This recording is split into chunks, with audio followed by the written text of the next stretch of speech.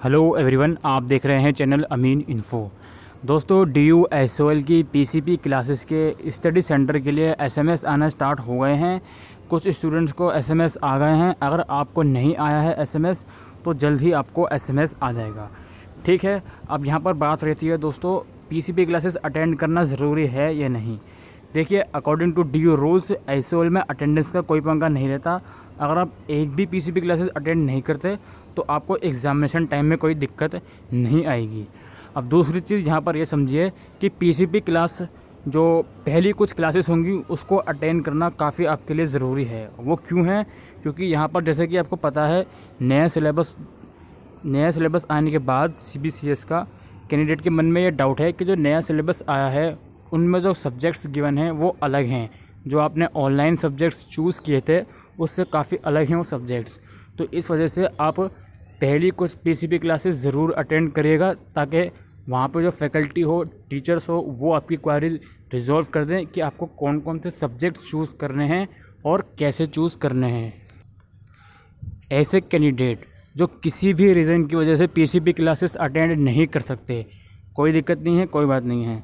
उनको क्या करना है, एक बार पीसीपी क्लास अटेंड होने दीजिए स्टार्ट होने दीजिए, उसके बाद किसी नॉर्मल वर्किंग डेज़ में एटलीस्ट आप एसओएल के कैंपस में विज़िट करिए, वहाँ पर क्वायरी करिए जाके कि आपको सब्जेक्ट चूज़ करने के लिए क्या करना पड़ेगा।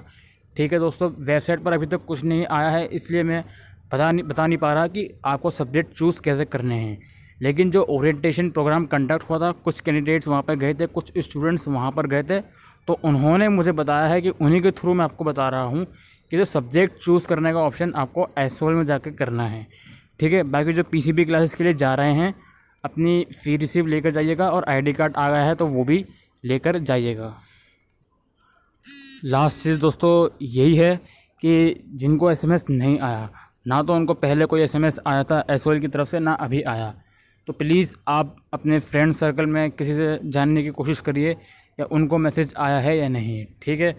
और दूसरी चीज़, आपने जो कैंपस सेलेक्ट किया था नॉर्थ या साउथ तो उस कैंपस के अकॉर्डिंग देखिए कौन कौन से सेंटर हैं, ठीक है? एक बार किसी सेंटर में विज़िट कर लीजिएगा वहाँ पे, या फिर सेंटर में नहीं विज़िट कर सकते तो किसी नॉर्मल वर्किंग डेज़ में एस कैंपस में विज़िट कर लीजिएगा और उनसे पूछिएगा कि हमारा स्टडी सेंटर कहाँ पर है, हमें कोई भी एसएमएस नहीं आया है।